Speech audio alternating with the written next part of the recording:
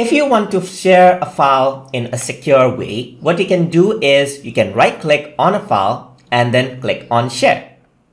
So over here in share, you can just go around and say copy link and keep the uh, settings to restricted only people added can open the link. So you can just copy the link and send them out to the other person.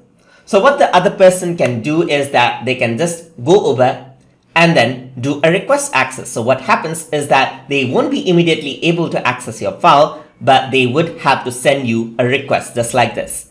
And then what happens that is that a request is sent from their side. And now in order to give them access, you'll get an email that they have actually sent a request. So if you were to go on to your Gmail right here, you can see that here the request for access is there. So now you know that this user is trying to access the file. And then what you can do is you can open the share settings and then what you can do is just give them privileges right here. So I'm just going to change this into commentator and then click on send just like this.